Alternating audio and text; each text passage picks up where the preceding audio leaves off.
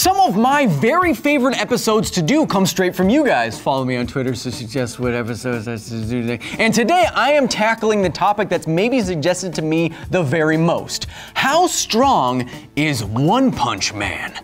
Well, I think I know how strong he is, but more importantly, I think I've figured out how strong he could possibly be.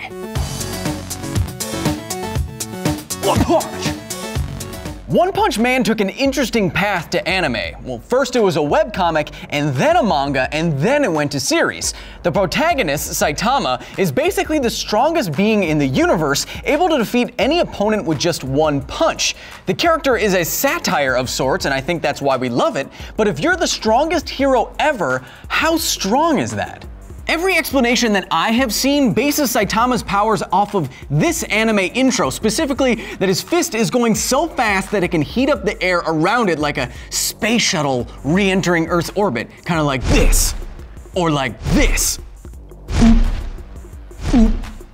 I have a new editor. I'm just testing him. Anyway, these explanations also mistake force for energy and use blue shifting and red shifting when I think it's not really acceptable. So let's abandon this reference point and look to what we can actually see happening in the anime to find the true limit of Saitama's strength. First, a direct speed comparison. In a fight with one of his strongest foes, Lord Boros, he gets punted to the moon, and then after checking out how cool reduced gravity is, he jumps back.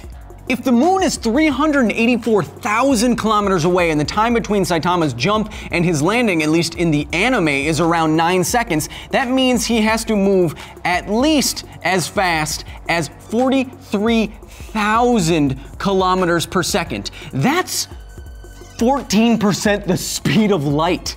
Astrophysicist Ethan Siegel, who helped me a lot on this episode, also estimates that based on Saitama's mass and size, he would be pulling trillions of G's and putting trillions of atmospheres worth of pressure onto the moon's surface. At least that explains this scene. Science! Saitama only gets more impressive from here. Oh, Abrupt fire punch!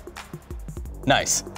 That's how fast Saitama can be, but how strong is he? Or rather, how much force can one of his punches provide? In this scene, OPM stops a meteor with just one punch. But to do this physics wise, he would have to dissipate all the kinetic energy of that meteor over the distance of his fist. Kind of like what happens when a car crumples around a tree. If the meteor is a city killer, let's assume it to be a cube ish thing with 60 meters on each side, the density of rock, and a velocity of 17 kilometers per second. If all, if all the kinetic energy wrapped up in this meteor comes to a stop within maybe half a fist's distance or three centimeters, then the average amount of force that a one punch man punch can pack is three quintillion newtons. That's a big, big number, but maybe it's easier to understand if you think of it like 90 Five, billion Saturn V rockets taking off from your face. Woo. That may be how strong Saitama is, but we've never seen his full potential. What is the real physical limit of his strength? The strongest a punch from One Punch Man could possibly be is one not that destroys every foe, but everything. I asked Ethan Siegel about this too, and there is a punch so serious that it could restart the universe.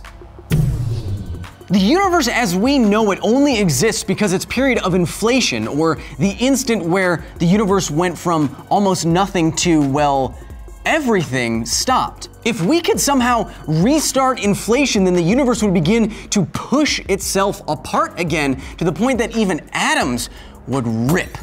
What kind of punch would that take? One where every particle in Saitama's fist has the energy to create inflation related particles, like some hypothetical giant atom smasher, and thus restart cosmic inflation. So, if you estimate the number of particles in Saitama's fist and give them all a physicist recommended 10 to the 32 giga electron volts, then one universe destroying punch would have the energy of a thousand gamma ray bursts. Some of the most energetic events in the universe, or all the energy from all the all the thermal energy from all the particles in the sun in just your hand, in just one fist. So the strongest Saitama could possibly be, the punch wouldn't look like this. It would look something like this. Oh, oh no! That is the ultimate limit of a one punch man punch.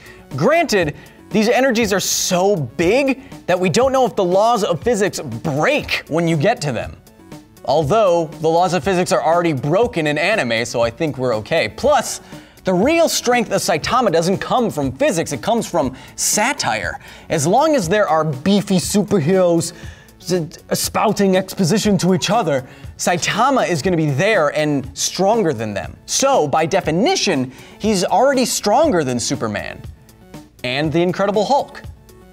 Because science fiction writing.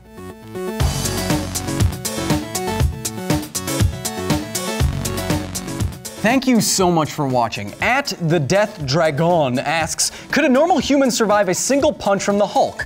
Well, Look at this one clip from Mythbusters real quick. Socks or the feet? Oh, oh, oh, oh, Yeah, that's what would happen to you. And, uh, you're dead.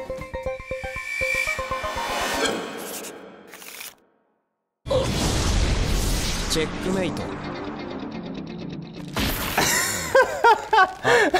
Smart. わざとじゃないんだよ。寸止めしようと思ったら勢いでぶつかっただけであ